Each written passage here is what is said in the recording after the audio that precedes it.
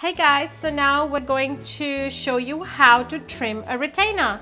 So we've fabricated a retainer using GT Flex Pro and using the Ministar. And what you see we're going to do a rough cutting with these really sharp scissors. Again you can buy some of this stuff from uh, dental laboratories or dental suppliers. And they they kind of make your life easier if you can really trim majority of the blank away from the model. Of course, we are going to use some finishing burrs at the end. But what you see here is quite a nice easy lift. And then using a wax knife, we can remove the blank. And also using curved scissors now to go around the curved surfaces to remove bulk of the excess.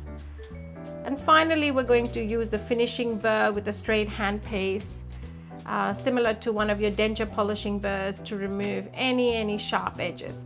But majority of the work should be really done with scissors avoiding a lot of uh, dust and um, only using the fine burrs as we need.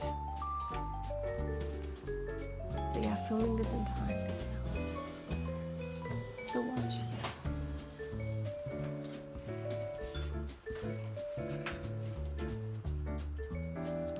We're using an acrylic burr here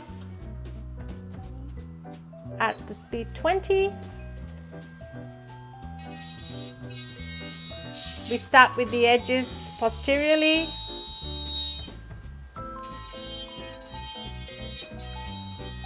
The retainer should only have up to a millimeter on the gingiva, no more, otherwise it can get quite uncomfortable for the patient. You could even do a scalloped edge retainer, however, they can be quite um, tedious to fabricate. So what we're doing here is a straight edge retainer that'll just go across the gingiva uh, up to a millimeter on the gingival surface.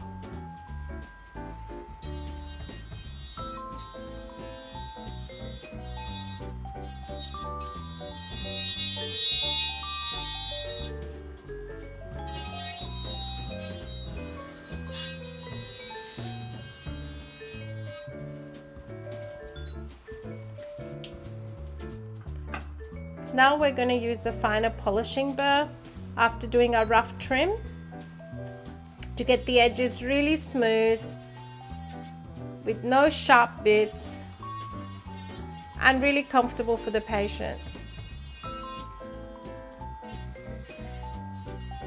Acrylic polishing burrs are available through major dental suppliers. Um, you may love some, you could use a rubber, you could use a wheel, um, this wheel as well. We have coarse wheels, fine wheels.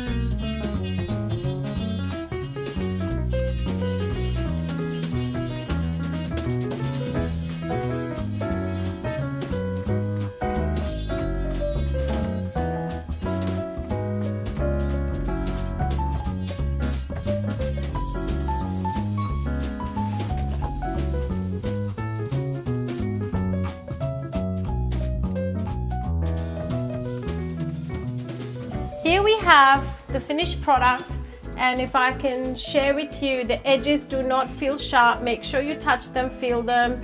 They don't feel sharp and we're ready. If we can show you the extension on the gingiva, it's only about a millimeter. We're just touching the interdental papilla.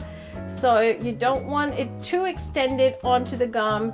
Now, if you see a little bit of flash, you can even use um, another stone or rubber to just really finish it but um, this is pretty much done. So thanks for watching guys.